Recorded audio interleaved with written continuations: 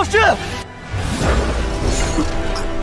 老师，老师不能继续陪在你身旁了。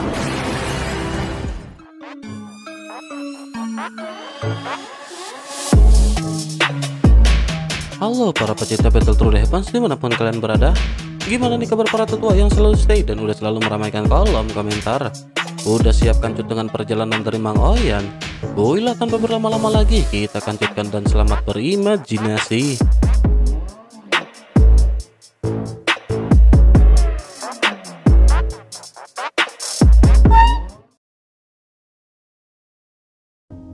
Cerita masih berkancut, tetapi sebelum kancut, Mimin mau terima kasih buat nama-nama berikut ini.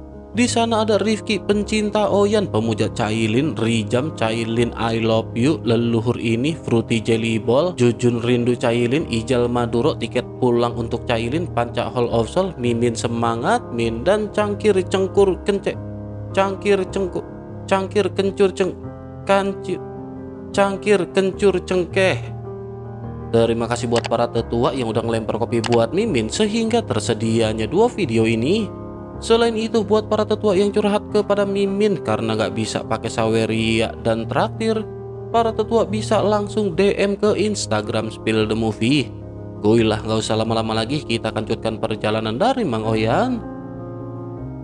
Cerita masih berkancut dengan Yang Mulia Ratu yang pada saat ini memimpin banyak prajurit membantu Xiaoyan. Setelah sedikit berbincang-bincang, Xiaoyan pada saat ini masih memiliki kekhawatiran di dalam hatinya. Bersamaan dengan hal tersebut, pada saat ini tiba-tiba beberapa lubang cacing singularitas muncul. Mata semua orang yang terjerat di dalam pertempuran pada saat ini segera menatap menuju ke arah lubang cacing tersebut. Dari lubang hitam tersebut, tiga bahtera besar pada saat ini segera muncul keluar. Tiga bahtera ini bahkan lebih besar daripada tiga bahtera yang berasal dari mansion surgawi sebelumnya. Ada juga banyak sosok-sosok kuat yang berdiri di atas bahtera membuat semua orang pada saat ini benar-benar tercengang. Sementara itu, Yang Mulia Ratu pada saat ini merentangkan tangannya. Melihat hal tersebut, Xiaoyan benar-benar tidak habis fikri bagaimana Yang Mulia Ratu bisa bersikap begitu tenang. Tampaknya Yang Mulia Ratu benar-benar seolah tidak peduli dengan kemunculan orang-orang dari mansion surgawi. Xiaoyan benar-benar bingung dan dengan sedikit ragu-ragu, Xiaoyan pada akhirnya bertanya kepada Yang Mulia Ratu, mungkinkah sang ratu sudah mengetahui hal ini dan hasil dari pertempuran? Yang Mulia Ratu segera menjawab bahwa sesungguhnya semua ini adalah rahasia. Oleh karena itu, bagaimana mungkin Yang Mulia Ratu bisa mengetahuinya? Xiaoyan pada saat ini terus mengajukan pertanyaan, bukankah pavilion Tianji bisa meramal rahasia? Yang Mulia Ratu kembali menjelaskan bahwa rahasianya memang dapat diprediksi, tetapi tidak ada angka pasti untuk rahasia apa pun di dunia ini. Hal itu dikarenakan rahasia dapat berubah dengan cepat dan tidak ada yang benar-benar dapat mengetahuinya. Melihat Yang Mulia Ratu yang pada saat ini menggelengkan kelapanya setelah menjelaskan, Xiaoyan pada saat ini hanya bisa tercengang. Sementara itu melihat Xiaoyan yang pada saat ini pongok Yang Mulia Ratu sedikit bersanda dengan Xiaoyan. Sosoknya berpura-pura pusing dan memerintahkan Xiaoyan untuk menangkapnya. Yang Mulia Ratu pada saat ini seolah-olah terhuyung-huyung mendekati sosok Xiaoyan. Sementara itu Xiaoyan pada saat ini segera tersadar dan mundur selangkah sambil menangkupkan tangannya. Xiaoyan berkata agar Yang Mulia Ratu pada saat ini jangan bersanda karena situasi mereka benar-benar sangat krisis. Yang Mulia Ratu pun seketika tiba-tiba tersenyum melihat dan mendengar apa yang dikatakan oleh Xiaoyan. Tubuhnya pada akhirnya juga seketika berhenti dan sosoknya masih memandang ke arah Xiaoyan dengan sedikit bersanda. Sementara itu di kejauhan pada saat ini tiga bahtera pada akhirnya turun dari lubang cacing singularitas.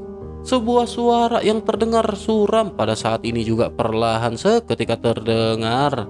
Suara tersebut berkata sepertinya ini bukan saat yang tepat untuk menggoda pria muda seperti itu. Mendengar suara tersebut, mata indah dari sang ratu pada saat ini sedikit menyipit. Ia tidak terus menggoda Xiaoyan dan pada saat ini segera menatap menuju ke arah sumber suara. Sosoknya masih dengan senyum lembut menatap ke arah para roh hantu yang baru saja tiba di tempat ini. Yang mulia ratu pada akhirnya segera berkata, bukankah ini adalah raja roh bernama Yibuyun? Tampaknya ia benar-benar tidak pernah memiliki keberuntungan terhadap wanita. Apakah ia pada saat ini merasa iri atau cemburu melihat apa yang baru saja ia lihat? Mendengar ledekan dari Yang Mulia Ratu, sosok yang berada di bahtera pada saat ini sedikit menyipitkan matanya. Pria bernama Ibu Yun pada saat ini segera kembali berbicara, sungguh sangat disayangkan karena ia tidak bisa melindungi Gu Zhongzheng pada saat itu. Selain itu, hari ini reinkarnasi dari Gu Zhongzheng juga pasti akan mokat dan ia tidak akan bisa menghindari hal tersebut. Yang mulia ratu segera melambaikan lengan bajunya dan bergumam bahwa ia ingin melindungi lelaki ini. Oleh karena itu ia ingin melihat apa yang pada saat ini bisa dilakukan oleh Ibu Yun. Setelah selesai berbicara, aura yang kuat pada saat ini segera keluar dari tubuh yang mulia ratu. Xiaoyan pada saat ini benar-benar terkejut dengan banyak garis hitam di jidatnya. Xiaoyan tidak pernah menyangka bahwa aura yang kuat ini benar-benar dimiliki oleh Yang Mulia Ratu. Sementara itu di kejauhan, suara dari Ibu Yun pada akhirnya kembali keluar perlahan. Sosoknya bertanya apakah Yang Mulia Ratu benar-benar berniat bertempur dengan Mansion Surgawi?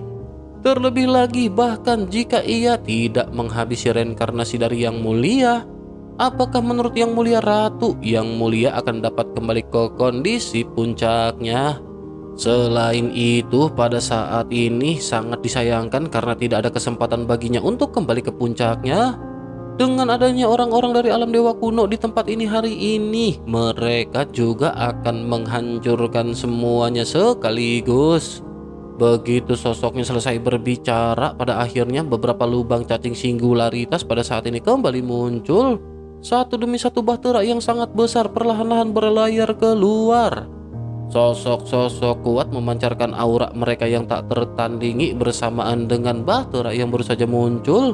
Sepuluh raja roh dari mansion surgawi pada akhirnya benar-benar telah tiba semuanya. Tampaknya tujuan mereka sangat jelas yakni mereka benar-benar ingin menghabisi reinkarnasi yang mulia. Delapan bahtera besar pada saat ini benar-benar berisikan ke sepuluh raja roh dari mansion surgawi. Kedua belah pihak yang melakukan pertempuran juga pada saat ini tampaknya memiliki pemahaman yang diam-diam. Mereka semua menghentikan pertempuran untuk sementara waktu dan mundur ke pihak masing-masing. Sementara itu, Ibu Yun pada saat ini tersenyum sebelum akhirnya kembali berbicara menuju ke Yang Mulia Ratu. Sosoknya bertanya apakah Yang Mulia Ratu benar-benar masih berpikir bahwa ia bisa melindunginya. Yang Mulia Ratu pada saat ini masih tetap terlihat tenang dan segera menggunakan kekuatan spiritual untuk mengirimkan transmisi suara kepada Xiaoyan. Yang Mulia Ratu berkata kepada Xiaoyan agar Xiaoyan pada saat ini mendengarkannya. Situasi ini tidak dapat diubah dan jika perang pecah, yang Mulia Ratu khawatir kedua belah pihak benar-benar akan menerima sungai berdarah. Hasil ini persis seperti apa yang diinginkan oleh orang-orang dari mansion surgawi. Terlebih lagi ada keberadaan yang lebih kuat yang tersembunyi di belakang mereka.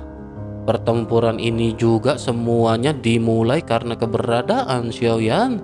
Oleh karena itu sekarang hanya ada satu cara untuk menyelesaikan pertempuran ini Xiaoyan pada saat ini segera bertanya kepada Yang Mulia Ratu solusi apa yang dibicarakan oleh Sang Ratu. Yang Mulia Ratu pun dengan sungguh-sungguh berkata bahwa solusinya adalah dengan Xiaoyan menghilang sepenuhnya dari sini. Xiaoyan tertegun begitu Xiaoyan mendengar dan menatap ke arah Sang Ratu dengan ragu. Xiaoyan pada akhirnya lanjut bertanya apa yang dimaksud dengan Yang Mulia Ratu. Mungkinkah Yang Mulia Ratu pada saat ini menginginkan Xiaoyan mokat? Sang Ratu segera menoleh menatap ke arah Xiaoyan seolah-olah sedang menatap orang bodoh di matanya. Yang Mulia Ratu pun segera menjelaskan, tentu saja bukan itu maksud dari Yang Mulia Ratu. Xiaoyan pada akhirnya menghela nafas lega sementara Yang Mulia Ratu pada saat ini kembali mulai berbicara. Yang Mulia Ratu bertanya apakah Xiaoyan tidak bisa meninggalkan dunia sensi.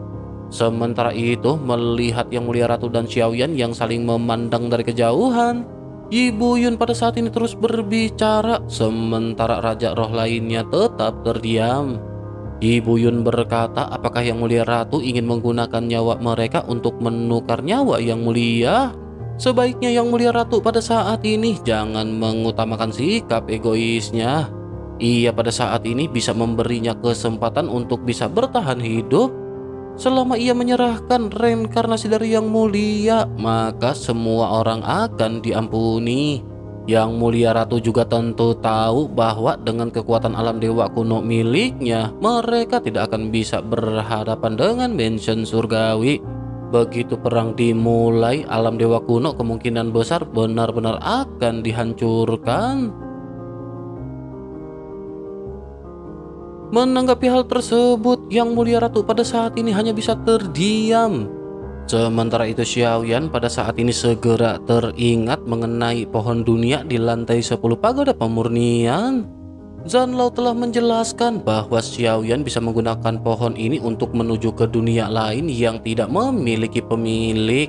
Xiaoyan juga pada saat ini segera mengerti perkataan yang pada saat sebelumnya dikatakan oleh Yang Mulia Ratu Xiaoyan berpikir sepertinya semua ini terjadi begitu cepat. Xiaoyan sama sekali tidak siap karena Xiaoyan awalnya berpikir bahwa Xiaoyan bisa menerobos keabadian di dunia sensi. Namun di tengah perjalanan ternyata Mansion Surgawi benar-benar telah melakukan operasi yang seketika menekan Xiaoyan.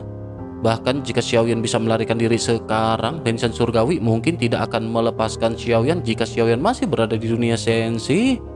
Xiaoyan pada akhirnya menggertakkan giginya dan pada saat ini tampaknya Xiaoyan tidak memiliki pilihan lain.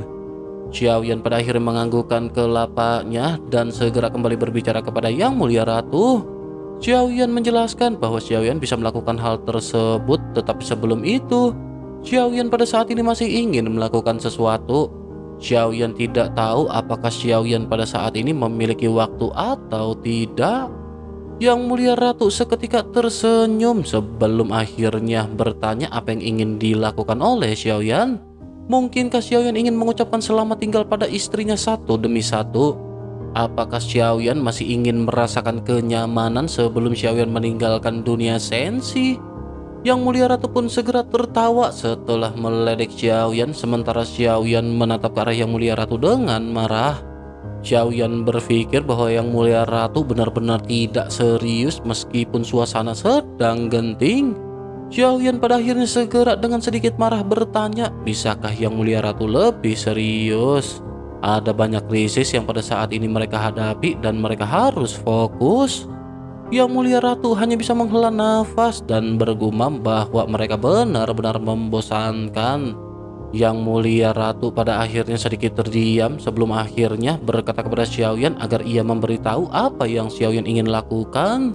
Xiaoyan tiba-tiba menatap ke arah Kui Jun yang pada saat ini disegel di dalam kotak kaca. Xiaoyan dengan serius segera berkata bahwa Xiaoyan ingin menangkapnya. Yang mulia ratu pun menganggukkan kelapanya dan berkata bahwa Xiaoyan bisa mencobanya. Xiaoyan masih memiliki waktu tetapi sebelum Yang Mulia Ratu menyelesaikan kata-katanya pada saat ini gelombang kuat benar-benar terpancar dari kejauhan. Yang Mulia Ratu pun kembali menoleh dan bergumam bahwa mereka datang. Pada saat ini terlihat ada satu lagi lubang cacing singularitas yang perlahan muncul. Di dalamnya sebuah bahtera besar juga perlahan-lahan nongol. Setelah bagian bahtera ini terungkap, semua orang menyadari bahwa ini adalah bahtera dari dunia bawah. Melihat sosok yang mengendalikannya, semua orang terkejut karena ini adalah sosok raja dunia bawah yakni Tianzang. Xiaoyan juga pada saat ini menyipitkan matanya ketika melihat bahtera rumah hantu yang pernah dilihat oleh Xiaoyan sebelumnya. Sementara itu Xiao Yueli segera berteriak, akhirnya orang tua itu sampai di sini. Pada saat ini banyak sosok muncul di dek Bahtera Hantu dengan dipimpin oleh Raja Tianzang. Di belakang mereka ada kekuatan yang tertinggi yang berasal dari dunia bawah. Dengan kemunculan dunia bawah, ekspresi dari beberapa raja roh juga pada saat ini seketika berubah menjadi gelap. Sementara itu, Raja Tianzang dengan masih memegang labu anggurnya segera mulai mengeluarkan suara yang mendominasi. Raja Tianzang berkata kepada semuanya bahwa ia benar-benar sudah lama sekali tidak bertemu dengan mereka. Ia juga telah mendengar bahwa mereka telah menindas muridnya. Sebaiknya mereka jangan mokat terlebih dahulu karena jika tidak, dunia bawah akan membuat mereka merasakan sakitnya api penyucian. Setelah selesai berbicara, Raja Tianzang pada saat ini menoleh menuju ke arah Xiao Yueli. Melihat Xiao Yueli yang berubah menjadi asap hitam dan terbang ke bahtera rumah hantu. Raja Tianzang pada saat ini menyipitkan matanya dan bergumam bukankah ia telah mengatakan bahwa segelnya tidak bisa dibuka sesuka hati. Xiao Yueli tidak menanggapi perkataan Raja Tianzang dan pada saat ini segera menjambak janggut Raja Tianzang. Raja Tianzang tanpa sadar berteriak kesakitan. Sementara itu Xiao Yueli segera berkata bahwa penyelamatan dari Raja Tianzang sangat datang terlambat. Jika ia tidak membuka segelnya, maka ia khawatir mereka benar-benar akan mokat di tangan orang-orang ini. Menghadapi kemarahan Xiao Yueli, Raja Tianzang pada saat ini segera berkata agar Yueli jangan marah. Siapa pun yang menindasnya, maka Raja Tianzang akan membuat perhitungan dengan mereka. Raja Tianzang pada saat ini terlihat tidak marah dan tampak menyayangi sambil mengusap kelapa Xiao Yueli. Sementara itu Xiao Yueli segera mengangkat tangan kecilnya dengan ekspresi marah dan menunjuk ke arah Han Mo di kejauhan. Raja Tianzang juga segera memandang ke arah Han Mo sementara Han Mo pada saat ini tiba-tiba mengerang dan berlutut di kehampaan. Kulitnya berlumuran darah dan ini hanyalah tekanan yang dilesatkan oleh Raja Tianzang. Xiao Yan pada saat ini menyipitkan matanya begitu melihat apa yang dilakukan oleh Raja Tianzang. Xiao Yan tidak menyangka bahwa Raja Tianzang memiliki kekuatan yang begitu kuat. Ia bisa membuat Hanmo terlihat sangat memalukan hanya dengan tekanannya saja.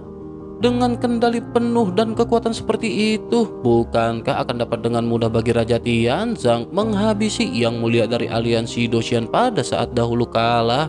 Mata Xiaoyan pun seketika berubah menjadi gelap ketika Xiaoyan memikirkan hal ini dan Xiaoyan tiba-tiba bingung. Xiaoyan bertanya-tanya mengapa Raja Tianzang tidak mengambil tindakan pada saat itu. Namun ketika Xiaoyan memikirkan hal ini, Xiaoyan juga seketika menyadari sesuatu hal. Xiaoyan mengerti bahwa mungkin bukan hanya Raja Tianzang yang bisa menyelamatkan Xiaoyan pada saat itu. Yang mulia ratu juga memiliki kekuatan untuk menyelamatkan Xiaoyan tetapi keduanya benar-benar hanya menonton dan mungkinkah mereka melakukan hal tersebut dengan sengaja? Mungkin semua ini adalah bencana Xiaoyan sendiri dan ada beberapa bencana yang memang harus dialami oleh Xiaoyan sendiri. Xiaoyan juga menyadari bahwa jika bukan karena pertempuran di bintang Hongmeng dan pengorbanan semua orang di tim Fearless pada saat itu, Kondisi pikiran Xiaoyan tidak akan bangkit dan tidak akan mendorong Xiaoyan berkembang begitu cepat. Xiaoyan pada akhirnya segera menyadari bahwa semuanya tampaknya benar-benar telah diatur. Selain itu, mungkin saja yang mulia jugalah yang telah mengatur hal ini sehingga mereka tidak banyak ikut campur. Sementara itu di sisi lain, Hanmo pada saat ini mengangkat kelapanya dengan susah payah dan matanya memancarkan kebencian. Bersamaan dengan hal tersebut, pada saat ini terlihat adanya lesatan cahaya yang dilontarkan dari Bahtera Mansion Surgawi.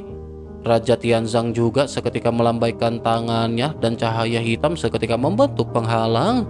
Sinar yang dilesatkan ini pada akhirnya langsung menghantam penghalang cahaya hitam dengan keras. Ledakan pada akhirnya segera terjadi dengan suara ledakan yang bergema ke segala arah.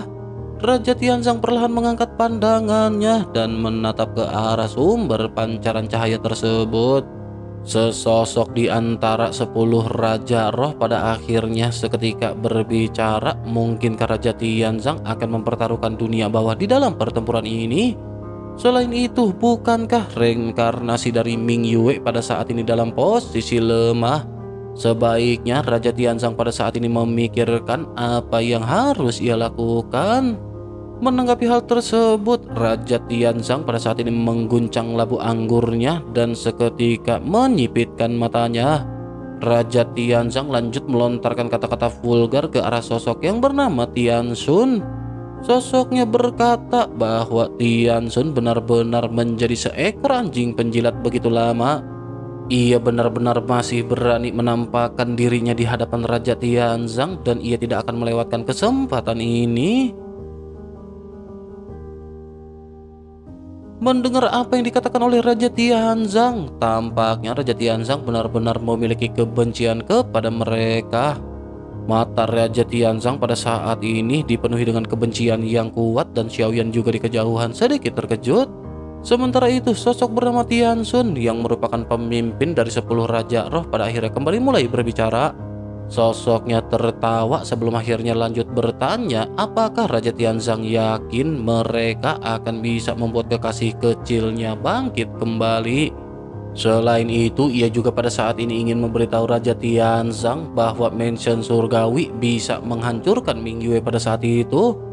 Oleh karena itu, secara alami kali ini mereka akan bisa melakukannya lagi. Menanggapi hal tersebut, Raja Tianzang pada saat ini dengan singkat segera berkata jika begitu maka mereka bisa mencobanya. Raja Tianzang segera menggantungkan labu anggur di pinggangnya dan tubuhnya perlahan naik ke udara. Tiansun juga pada saat ini melakukan hal yang sama dan momentum keduanya seketika meledak. Momentum yang kuat ini menyapu seperti angin kencang mendorong semua orang untuk mundur. Namun bersamaan dengan hal tersebut beberapa raja roh yang tersisa seketika naik ke udara. Semuanya memandang ke arah Raja Tianzang dengan tatapan tajam. Melihat total ada delapan sosok di depannya, Raja Tianzang tetap tenang dan mulai meledek. Raja Tianzang berkata bahwa ini memang gaya dari mansion surgawi. Di sisi lain, pada saat ini sosok Xiao Yueli juga seketika bergerak naik ke udara menemani Raja Tianzang. Delapan versus satu ini dapat dikatakan benar-benar mereka tidak memiliki malu. Melihat Xiao Yueli yang pada saat ini melayang, Raja Tianzang juga pada akhirnya menoleh dan mulai berbicara dengan serius. Raja Tianzang memerintahkan Xiao Yueli untuk segera kembali. Ia bisa menanganinya dan Xiao Yueli tidak boleh membuka segelnya. Bersamaan dengan hal tersebut, pada saat ini suara Yang Mulia Ratu juga perlahan terdengar di telinga Xiao Yueli. Yang Mulia Ratu berkata bahwa mereka pada saat ini masih memiliki banyak pasukan ada juga yang mulia ratu dan sebaiknya Xiao Yueli mendengarkan apa yang dikatakan oleh Raja Tianzang. Setelah selesai berbicara kepada Xiao Yueli, yang mulia ratu segera berteriak ke arah orang-orang dari mansion surgawi. Yang mulia ratu berkata jika Tiansun pada saat ini ingin bertarung, mereka dari alam dewa kuno juga akan menemani mansion surgawi sampai akhir. Menanggapi hal tersebut, Tiansun pada saat ini memandang ke arah Yang Mulia Ratu dengan mata dingin. Sosoknya berkata, apakah dunia para dewa kuno pada saat ini juga ingin mengambil tindakan? Bahkan jika semua orang pada saat ini bergabung, mereka semua bukanlah tandingan dari Mansion Surgawi. Terlebih lagi, tanpa adanya dukungan dari Yang Mulia, Yang Mulia Ratu hanyalah seorang wanita biasa tanpa keberadaan dari yang mulia, sosoknya benar-benar seperti janda yang biasa belanja sayur. Mendengar apa yang dikatakan oleh Tiansun pada saat ini di antara puluhan ribu sosok, beberapa aura tersembunyi memancarkan fluktuasi membuat Yang Mulia Ratu sedikit menoleh. Yang Mulia Ratu segera mengirimkan pesan agar mereka jangan mengekspos. Sebuah suara jiwa pada saat ini datang di antara ribuan sosok. Suara tersebut bertanya mengapa Yang Mulia Ratu tidak membiarkan mereka menghancurkan mansion surgawi ini. Yang Mulia Ratu pada saat ini tidak menjelaskan dan sekali lagi mulai mengirim pesan dengan nada tegas. Yang Mulia Ratu berkata bahwa tidak ada yang boleh melakukan pergerakan tanpa perintah Yang Mulia Ratu. Semua orang pada akhirnya hanya bisa mematuhi apa yang pada saat sebelumnya dikatakan oleh Yang Mulia Ratu. Sementara itu, selama periode waktu ini, mata Xiaoyan terlihat kosong. Sepertinya tidak ada yang memperhatikan apa yang pada saat ini dilakukan oleh Xiaoyan. Selain itu, segel Lanfeng juga pada saat ini benar-benar mencegah suara Kui Jun bisa keluar. Transmisi suara dari kekuatan jiwa juga pada saat ini benar-benar tidak bisa dilakukan oleh Kui Jun. Kui Jun pada saat ini sama sekali tidak bisa melakukan apa pun termasuk mengirimkan pesan. Yang paling penting lagi adalah bahwa pada saat ini tidak ada perhatian yang tertuju kepada Kui Jun. Tidak ada yang memperhatikan Kui Jun yang pada saat ini berusaha dan berjuang di dalam kotak. Kui Jun telah berjuang seperti ini sejak awal dan situasinya benar-benar telah berubah menjadi serius. Beberapa raja roh yang baru saja datang pada saat ini juga tampaknya tidak terlalu memperhatikan Kui Jun. Mungkin level Kui Jun pada saat ini benar-benar tidak terlalu menarik untuk diperhatikan. Sementara itu di sisi lain, Raja Tianzang pada saat ini tersenyum sebelum akhirnya segera mulai kembali berbicara. Raja Tianzang berkata kepada Yang Mulia Ratu bahwa ini bukanlah permasalahan. Biarkan mereka semua berdelapan berkumpul. Raja Tianzang ingin melihat apakah mereka telah membuat kemajuan setelah sekian lama. Setelah selesai berbicara, cahaya pada saat ini mengalir masuk ke tangan Raja Tianzang. Sebuah tombak yang tampak kuno seketika terkondensasi di tangan Raja Tianzang. Begitu tombak ini keluar, aura yang sangat agung juga pada saat ini seketika terpancar. Melihat senjata dari Raja Tianzang, Xiao Yueli juga pada saat ini terlihat bingung. Tanpa sadar, Xiao Yueli bergumam ternyata senjata orang tua ini adalah tombak. Ini adalah pertama kalinya Xiao Yueli melihat Raja Tianzang menggunakan senjata. Xiao Yueli juga pada saat ini melihat postur tubuh Raja Tianzang yang perlahan-lahan berubah. Postur tubuhnya berubah menjadi tegak ketika ia berhadapan dengan musuh-musuh yang benar-benar kuat. Aura Raja Tianzang juga pada saat ini benar-benar dipenuhi dengan kebanggaan. Xiao Yueli pada akhirnya bergumam dengan suara rendah bahwa orang tua ini telah menjadi semakin tampan. Raja Tianzang tiba-tiba menoleh menatap ke arah Xiao Yueli sambil tersenyum malu. Raja Tianzang lanjut berkata kepada Xiao Yueli bahwa ia sudah lama memberitahu Xiao Yueli Raja Tianzang sangat tampan ketika ia masih muda. Setelah mendengar gumaman dari Xiao Yueli, Raja Tianzang pada saat ini benar-benar memiliki semangat juang yang semakin melonjak. Sementara itu, pipi dari Xiao Yueli pada saat ini tampak memerah hingga mencapai akar kupingnya. Di sisi lain, jenggot di wajah Raja Tianzang pada saat ini menghilang dan ia berubah menjadi seorang pemuda berusia 20 tahun. Dengan penampilan ini, sosoknya benar-benar terlihat semakin heroik. Sementara itu Tian Sun pada saat ini mengerutkan kening dan pada saat yang sama, Raja Tianzang segera mengencangkan tombaknya dan mulai menusuk berhadapan dengan delapan Raja Roh. Tanpa adanya rasa takut, Raja Tianzang pada saat ini segera membuka pertempuran. Di sisi lain, Xiao Yueli pada saat ini merasa sedikit khawatir dan lanjut menoleh ke arah Yang Mulia Ratu. Xiao Yueli lanjut berkata jika lelaki tua itu tidak bisa mengalahkan mereka, Yang Mulia Ratu harus segera turun mengambil tindakan tepat waktu. Yang Mulia Ratu pada saat ini memandang ke arah Xiao Yueli sebelum akhirnya tersenyum dan mengangguk. Sementara itu, pertempuran di antara kedua belah pihak pada akhirnya segera terjadi. Perbedaan mendasar di dalam pertempuran antara makhluk keabadian dan dogat adalah perubahan kualitatif dalam kekuatan. Semua serangan dan metode dari seorang tingkat keabadian tidak menjadi lebih indah, tetapi ada kekuatan yang lebih kuat di dalam serangannya. Kekuatan ini juga benar-benar akan dapat menyebabkan kerusakan yang tak terbayangkan pada dogat bintang 9 sekalipun. Ini adalah perubahan kualitatif dalam kekuatan origin Ki. Pada saat ini, Raja Tianzang benar-benar terjalin berhadapan dengan delapan sosok Raja Roh. Tombak yang digenggam oleh Raja Tianzang pada saat ini tampak seperti naga yang marah. Banyak benturan di antara mereka dan dua di antara Raja Roh pada saat ini langsung terlempar. Keduanya segera menstabilkan tubuhnya dan kembali melesat menuju ke arah Raja Tianzang. Sementara itu Raja Tianzang pada saat ini sama sekali tidak menahan diri berhadapan dengan delapan Raja Roh. Badan tombak Raja Tianzang pada saat ini bergetar dan seekor naga hitam raksasa meraung keluar dari tombak.